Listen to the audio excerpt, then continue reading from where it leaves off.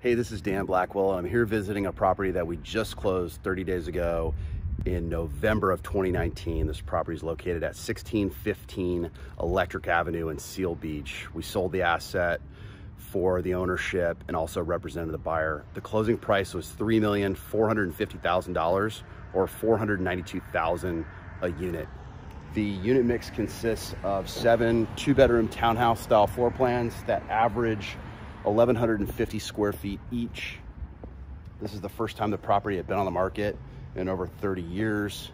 The ownership decided it was time to exchange and go their separate ways.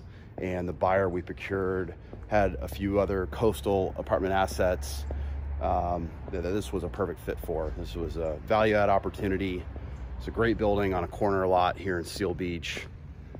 And it's gonna look great with a new coat of paint, updated windows, and um, the owner, new ownership plans to execute a value add program on the exterior and also the interior.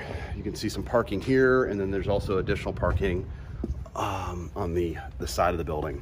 I'm gonna take you through the courtyard area, if you will, here. You can see the the property.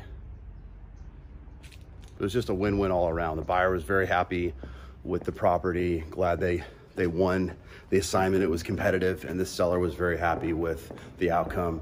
Also, shout out to Mike O'Neill, who was a co-listing agent uh, with our team and uh, did a great job with marketing the asset and also helped procuring the buyer. So all around a win-win, and just wanted to uh, to share.